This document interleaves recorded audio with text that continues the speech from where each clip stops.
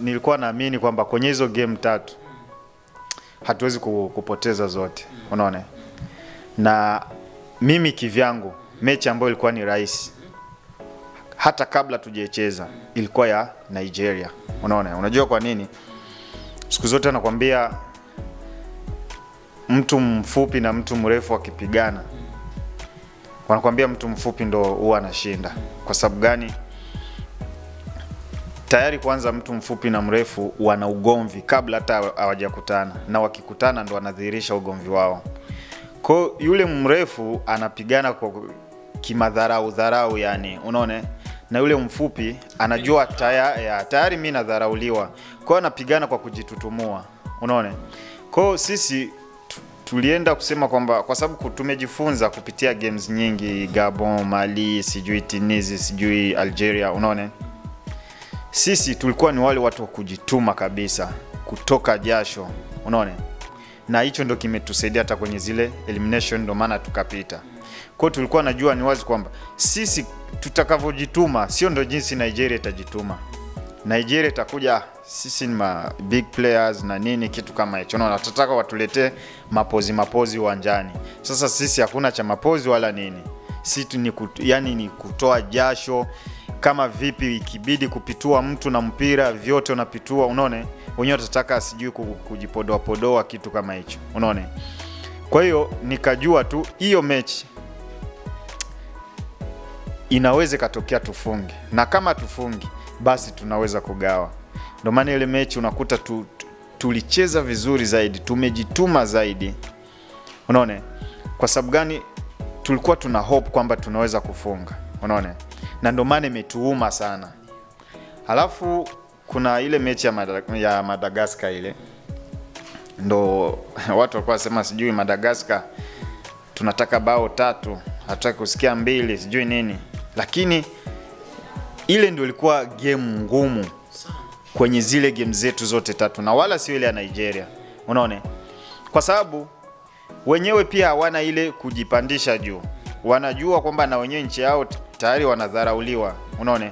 Kwa hiyo wenyewe wanakuja kwa kujitutumua, na ukiangalia ndo ilikuwa timu mbaya kwenye group, group yetu, yaani kitu ambacho tulikuwa tutegemei. Kila mmoja alikuwa na focus kwenye Nigeria, Guinea kwamba au ndo watatupa shida, unaona, lakini sio hivyo, na ndio maana wamemaliza kwanza kwenye group, unaona. So ilivyotokea ndiyo tukapoteza hiyo mechi ya Madagascar. Ikaonekana kama vile ni aibu fulani vile, lakini sio hivyo, kwa sababu baada hapo walipiga Nigeria mbili, unaona.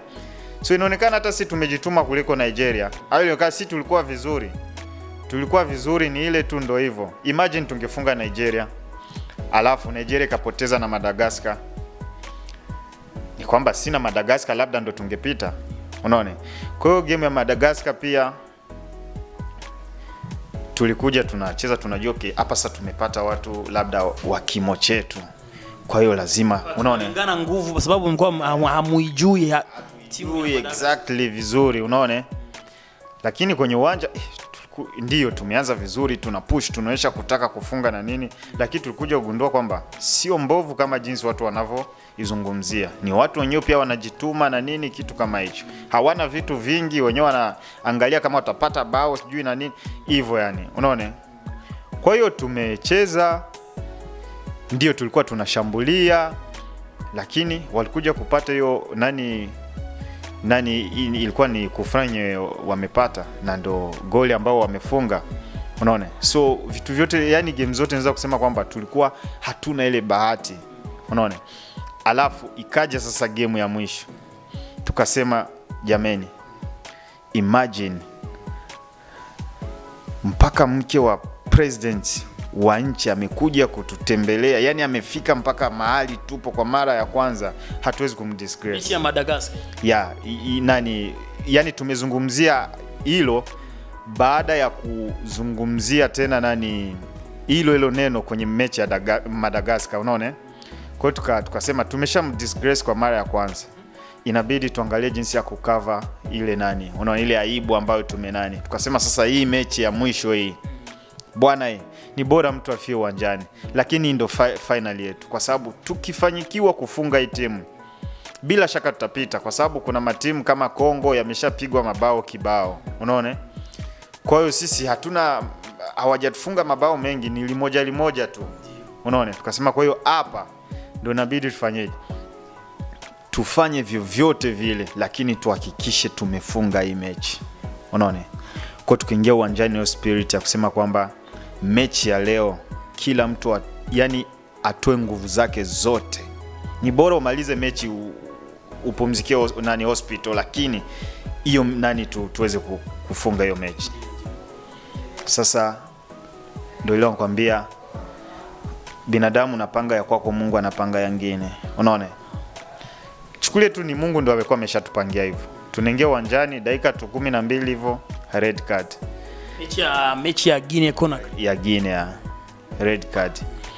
Ndo kitu kilitufanya ni turegee tutepete tuone kama tunakatika nguvu. Tukasema jamani tuko natafuta 3 points. Yani tuangalie kama tunaweza kufunga. Afu, sisi sisi ndo tunapewa tena red card.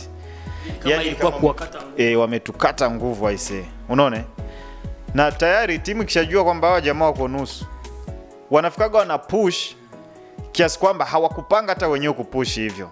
Unaone kwa sababu kama mko, mko 50-50 hata kama mkipush mnakuaga na ile mnakuaga makini sana. Mnajua hapa muda wowote hawa jamaa wanaweza kupata counter wakatufunga sijui nani kitu kama hicho. Lakini mkishajua hawa jamaa ni nusu tayari kuna mchezaji wa ziada yani wa zaidi wanatakiwa kufanyaje ku, ku, nani kuweka. Bwana unaone so ndo hivyo. Ikatukata nguvu kihivyo. Kwa hiyo tukasema okay wacha tu, tucheze tutumie zile zile nguvu nani yetu ibaki ile ile nia yetu. Lakini chansi za kufunga zimepungua. Sio kama jinsi tulivyokuwa tuna, tumepanga au tunatarajia.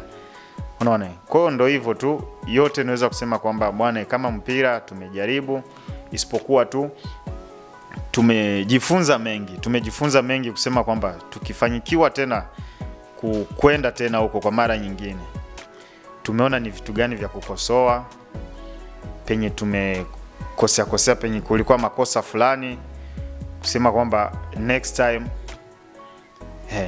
haitokuwa kama hii nani hii mara ya kwanza ambayo tumeenda. Ni kwamba lazima tusogee mbele lazima tufike mbele.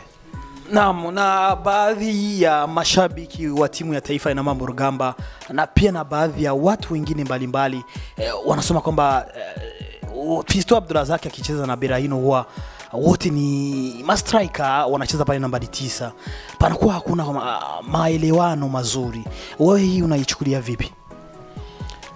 ya ndo kama jinsi unavyosema sote ni mastrikers, kwamba mimi ni striker yeye ni striker pia unaona so maelewano sio kwamba yanakuwa yanakosa kivile lakini ni kwa sababu kati yetu lazima kuna mmoja atacheza posti ambayo sio ya kwake. Cheza namba kumi. unaona? So ndio unakuta mfano akicheza namba kumi ni ni ile unakuta anacheza lakini sio ndo position yake kawaida. Unaona? So hata hata feel yuko comfortable kama jinsi anaweza kucheza kwenye unaelewa kama striker.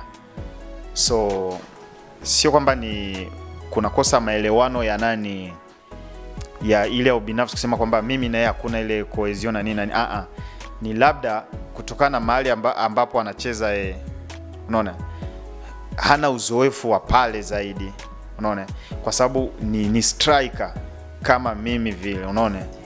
So ndo maana kidogo inataka kuonekana hivyo kwamba hakuna kule ku, kuelewana hakuna sijui nini kitu kama hicho. Unaona?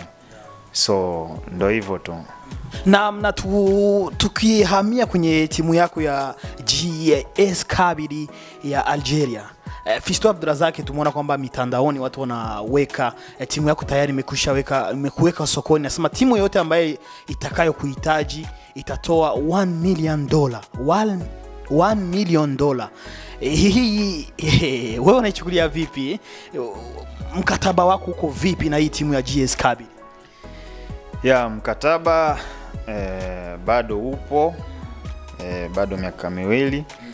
So wenyewe kusema wanataka 1 million yeah, ni sawa na sokoni tu ukienda. E, unakatiwaga bei ambayo ni ya juu, labda ukapunguza kitu inaweza kuwa cha elfu ukanunua mia tano unaone So wenyewe ni bei ambayo wamekata, unaone lakini naona wamefikiria sana kutokana na baadhi ya team za Europe zenye zina communicate na wenyewe, unaona. Sasa inakuja ku affect team za Afrika, wenyewe wanakata bei yao, labda wakitarget Europe.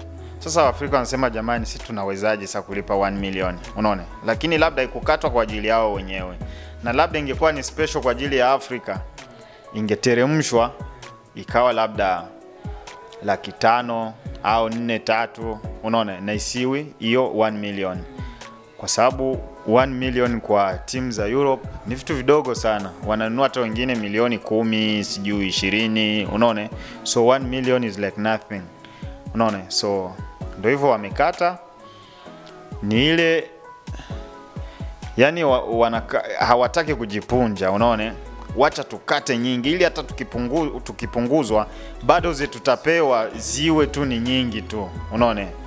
So ndo hivyo, siwezaki kustuka na bei eti mtu amekata hivi sijui nini. Ah, zinaweza kuteremsha na Fisto zake ni mshambuliaji ambayo eh, ambaye eh, uweze kwa, ku, kuchukua nafasi ya pili ya mshambuliaji wa pili ambaye ameweza kufunga mabao mengi eh, kwenye hii michuano kwenye mechi za kutafuta tiketi ya kuingia AFCON. Fisto Abdurazak aliweza kutafutiwa na timu nyingi nyingi za Ufaransa na penginepo. Eh, ni timu zipi ambazo zimeshakuja kujitokeza kumtafuta mshambuliaji wa Burundi ambaye ni Fisto Abdurazak? ya kuhusu nani Ufaransa, kuna baadhi ya timu lakini ni ile hawatakagi kutaja majina ya timu ya kuweka hadharani mpaka dili kwanza liwe, unaone? E, kwa sababu kishakuwa timu mbili za huko tatu, unaone? Kuna pia kuna wale watu wa wanapitaga zile njia njia za panya zile, akisikia eh, timu fulani iko inamtafuta. Sasa yeye ndo anataka kujifanya kama yeye ndo ye, ye, yeye ndo anatangazia kila kitu na nini, so inabakiaga tu siri kama hivyo, wana contact team tu kwamba si ni hivi na vile, wakielewana poa, wasipoelewana ndio hivyo wanajaribu na timu nyingine. Pia hata nani Belgium pia zenyewe zi, zimejitokeza wamejaribu ku, kuongea na, na timu so